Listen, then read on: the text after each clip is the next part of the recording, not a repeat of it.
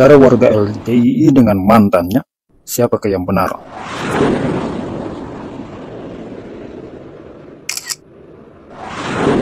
Jamaah yang tergabung dalam organisasi Lembaga Dakwah Islam Indonesia LDI menuding bahwa mereka yang keluar atau dikeluarkan dari kelompoknya itu sebagai murtadun yang artinya keluar dari Islam. Berarti kembali kepada alam jahiliyah yang mati sewaktu-waktu kekal di neraka.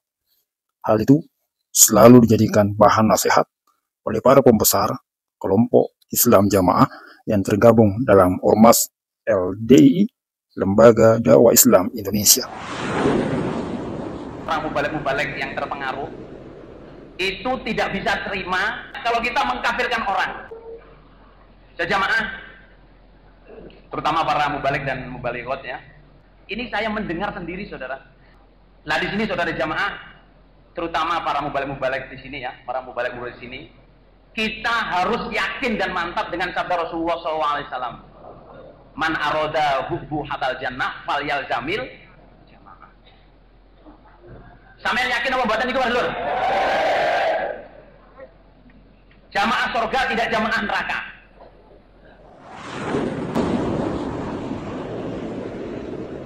Sementara di pihak lain, yakni mereka yang keluar dan dikeluarkan dari jamaah LDI itu menyebutkan bahwa jemaah LDI salah karena mereka berakidah takfiriyah.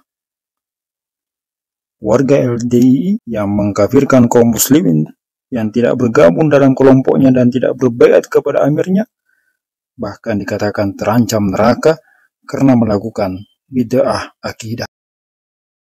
Maka pertanyaannya, siapakah yang benar di antara warga LDI kah atau dengan mantannya? Maka untuk menjawab pertanyaan ini sebenarnya sangatlah mudah. Karena Allah bersama Rasulnya sudah memberi pakem bahwa ketika terjadi perselisihan hendaklah dikembalikan kepada Al-Quran dan Sunnah.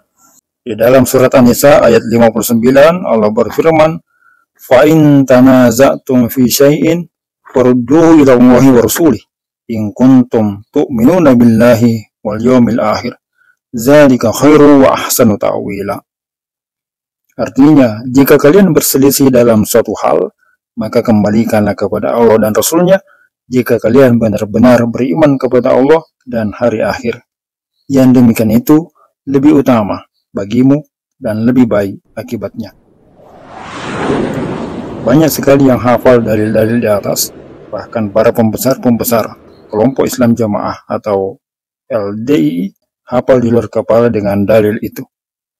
Pertanyaannya, siapa yang harus menjadi penengah ketika antara dua pihak ini benar-benar berkehendak untuk mengembalikan, menyelesaikan perselisihannya itu berdasarkan Al-Quran dan Sunnah?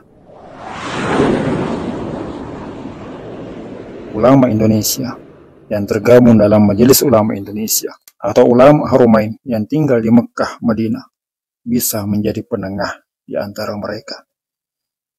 Namun, yang menjadi persoalan adalah ketidakinginan dari warga LDI untuk menyelesaikan persoalan itu.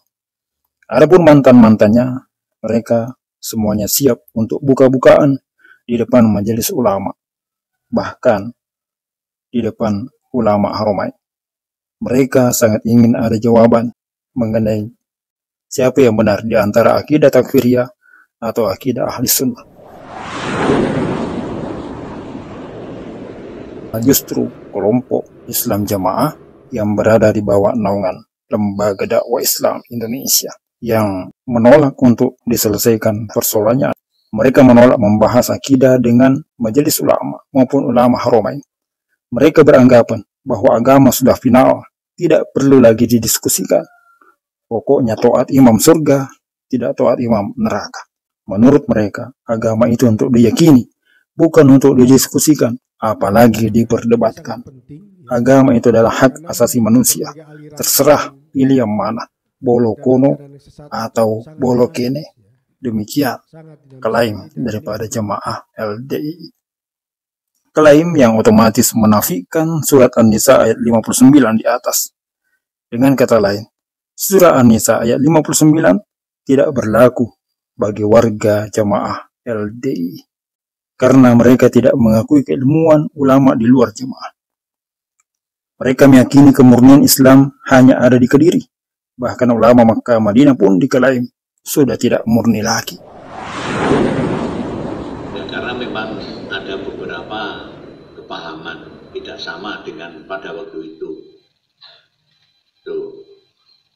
Maka dengan demikian memang Mekah Medina itu sekarang ya untuk kepahamannya atau hidayahnya ya tidak bisa diandalkan tidak seperti dulu kemurniannya sudah tidak murni seperti dulu sudah beberapa perubahan nah, maka kalau sekarang ini misalnya orang mencari hidayah ke sana ya tidak mungkin ketemu nah, itu loh karena sudah perubahan. Maka bersyukurlah bagi kaum muslimin yang mau mengamalkan surah An-Nisa ayat 59 yang ketika berselisih dalam sebuah perkara agama mereka mengembalikannya kepada pedoman pakemnya yakni Al-Quran dan As-Sunnah.